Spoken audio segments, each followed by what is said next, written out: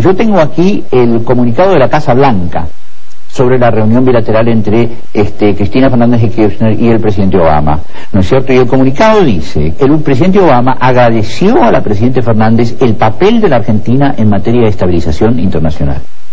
Cuando vino Hillary, dijo lo siguiente, la Argentina ha hecho enormes progresos y agregó, la proporción de su deuda al Producto Bruto Interno es más baja que la de Estados Unidos y agrega, no sé cómo lo lograron, pero funcionó, ¿no es cierto? Ahí esto lo dijo en la conferencia de prensa, yo lo oí, no lo leí en ningún diario argentino, pero ¿saben, ¿y saben dónde lo leí? En Pravda.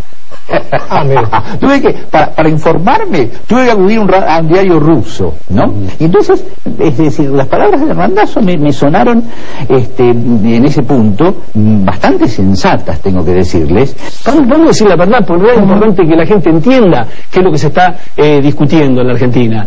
Cuando se decidió llevar adelante la ley famosa audiovisual, muchos medios, inclusive este medio, se ha sentido, eh, digamos, que afectado sus intereses, y esto no está mal. Pero digo, esto no hay duda que finalmente le quita imparcialidad a la información, porque muchas veces se oculta información, se tergiversa información. Las palabras de Randazo me, me sonaron este, en ese punto bastante sensatas, tengo que decirles.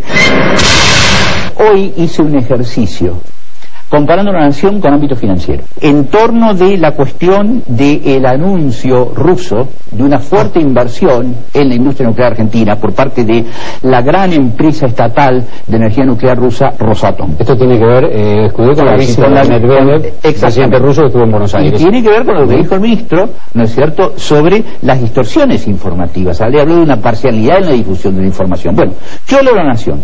Página 9. Gran titular que dice, Rusia anunció una fuerte inversión, 3 mil millones de dólares. Agarro ámbito, que se supone que está especializado en, esas cosas, no encuentro nada sobre el anuncio de la inversión, ¿no es cierto? Este, ahora, en la misma página 9 de la, de la, Nación encuentro un titular que dice, otro titular que está por debajo del anuncio de la inversión, pero es importante, que dice quejas de Moscú por la carta. Agarro ámbito y me encuentro con un titular mucho más sensacionalista que está en la tapa y dice oficial, Rusia amenazó con no comprar carne. ¿No es cierto?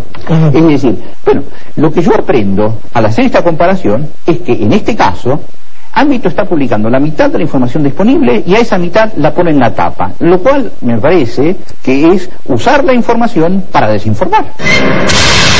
Yo me encuentro con, con este artículo que salió también esta semana en La Nación, muy interesante, de un escritor este, que es importante, Guillermo Martínez.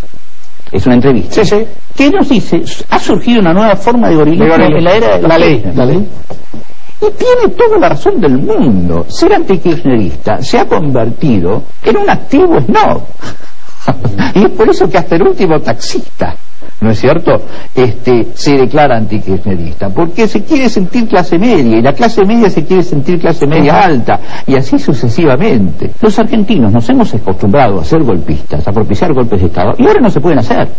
Entonces estamos encontrando nuevos mecanismos de desestabilización. Mm. Y es una, es una gran pena, porque digamos lo que este país necesita es, eh, digamos, un apoyo patriótico a aquellas políticas que son buenas. Y en este caso en particular, el de la, política exterior, la política exterior de este gobierno es muy buena. Yo me le saco el sombrero porque yo soy antítesis y un kirchnerista, pero es una cuestión de, de, de, de nobleza ¿no? Es Gracias. Muy amable. ¿eh?